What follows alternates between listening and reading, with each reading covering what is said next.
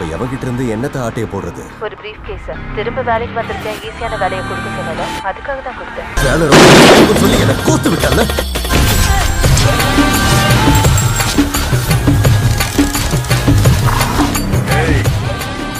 ஒரு வாத்தியை குத்தி போட போறேன்.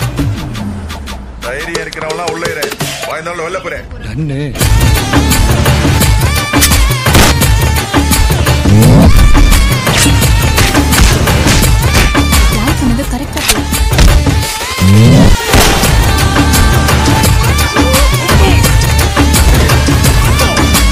டக்குன்னு ஏற மாதிரி. ஸ்ட்ராங்கா ஏதாவது?